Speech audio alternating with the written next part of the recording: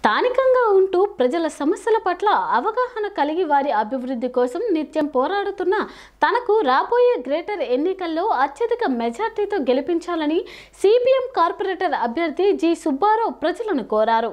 ఎన్నికల నేపథ్యంలో ప్రచారంలో దూసుకుపోతున్న ఆయన ఇంటింటికి వెళ్ళి ప్రజల సమస్యలను అడిగి తెలుసుకున్నారు. తనకు ఎన్నికలలో ఒక అవకాశం ఇస్తే వార్డు అభివృద్ధికి పాటుపడతానని ఆయన తెలిపారు.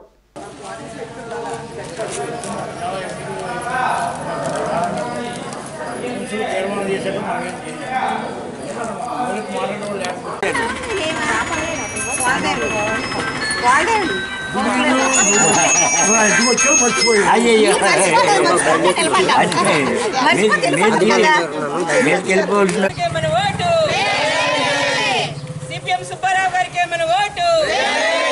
సిపిఎం సుబ్బారావు గారికే మన ఓటు? మార్చి పదో తారీఖున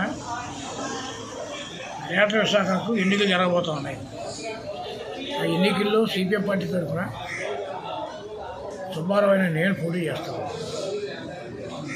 కార్పొరేషన్లో నేను ఎన్నికై ప్రజలు నాకు ఓటేసి పంపిస్తే ఈరోజు ఇప్పటికే జగన్మోహన్ రెడ్డి గారు అసెంబ్లీలో వాటర్ కానీ డ్రైన్ కానీ అలాగే అన్ని రకాల ఏడో ఛార్జీలు కానీ చెత్త పన్ను కానీ అన్నిటి కూడా భారీగా వసూలు చేసేదానికి కావాల్సినటువంటి ప్రణాళిక రూపొందించి అసెంబ్లీలో తీర్మానం కూడా చేశారు. ఈ కౌన్సిల్ జరిగిన వెంటనే ఈ భారాలు ప్రజల మీద పడబోతా ఉన్నాయి. నేను కౌన్సిల్లో ఉంటే మా పార్టీ అభ్యర్థులు కౌన్సిల్లో ఉంటే ఖచ్చితంగా ఆ విధానాలను వ్యతిరేకించి ప్రజలను సమీకరించి ఆ భారాలు ప్రజల మీద పడకుండా మేము చేయగలం కాబట్టి ఈరోజు అటువంటి శక్తి పవర్ నాకు ఉండాలంటే ఖచ్చితంగా ఓటర్ మాకు ఓటు వేయడం ద్వారా మాత్రమే ఆ శక్తి మాకు వస్తుంది. ఇప్పటికే మేము యాభై సంవత్సరాలు బట్టి నేను గాజువాకలో అనేక పోరాటాలు ఈ రోజు కూడా నిరంతరం ప్రభుత్వ విధానాలు నిరసిస్తూ ధరలు పెంచినా మరొకటైనా కూడా మేము పోరాటం చేస్తాం. స్టీల్ ప్లాంట్ ఇవాళ ప్రైవేటీకరణ అయ్యింది. స్టీల్ ప్లాంట్ ప్రైవేటీకరణ మీద కూడా నిరంతరం ఈరోజు కూడా పోరాటం జరుగుతాం. ప్రజలందరూ కూడా సమీకరించినట్టు కూడా మేము ఒక పక్కన కేంద్రానికి లేఖ రాశారు.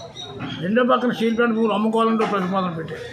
అంటే ఈవేళ కేవలం డబ్బులతో తనకి బలాన్ని పెంచుకునే ప్రయత్నం చేస్తున్నారు తప్ప ప్రజల యొక్క సమస్యలు పరిష్కారం చేసే దిశలో మాత్రం ఆయన అట్లాంటి ప్రయత్నం కనబట్టలేదు ఇవాళ నేను అధికార పార్టీ కాబట్టి నాదే బలం అనేటువంటి విరవేగుతూ ఉన్నాను బలం ఎవరైనా ప్రజాసేవలో మాత్రం నిజాయితీగా ఉండాలి.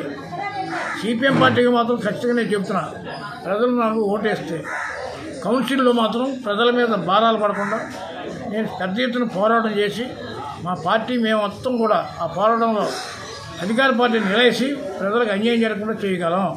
కాబట్టి ప్రజానీకం కూడా మాకు ఆ దశలో ఓటు వేయాలని మేము కౌన్సిల్లోకి వెళ్ళేదానికి మాకు శక్తి ఇవ్వాలని చెప్పి కూడా అరవై తొమ్మిదో ఓటర్ మహాశలందరూ కూడా విజ్ఞప్తి చేయడం